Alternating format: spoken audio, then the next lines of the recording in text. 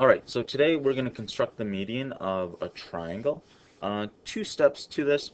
Uh, the first step is you choose a side, construct a perpendicular bisector of the side.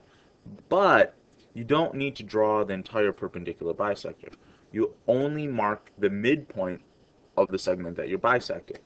After you've done that, um, step two, connect the line segment to the midpoint and the opposite vertex, and don't forget to mark uh, the picture properly.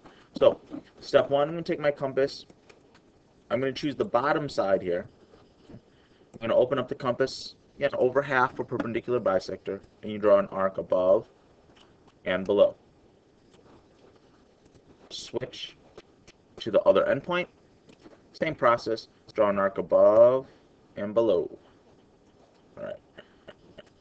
So you can see I got the two intersection points. Now, instead of drawing a line immediately, I'm just going to take my ruler and I'm going to line up here and just mark where that midpoint is.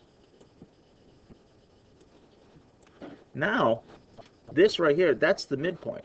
So, clean up my drawing. I'm going to get rid of these arcs.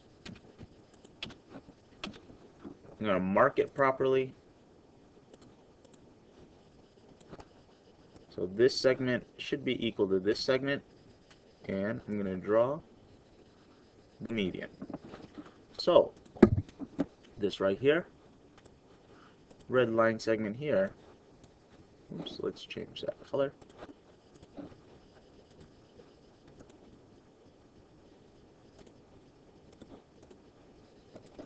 is